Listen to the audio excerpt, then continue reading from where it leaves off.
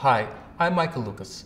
My work is about sex, lots of sex. In my job, we had sex with condoms and without. But I've stayed HIV negative and I'm going to stay that way because I'm on PrEP. PrEP is pre exposure prophylaxis. It's a medicine I take once a day, every day, and it will prevent HIV infection. So if you are having sex and aren't using condoms every time, ask a doctor about PrEP. Remember, there is more than one way to prevent HIV. Find the one that is right for you.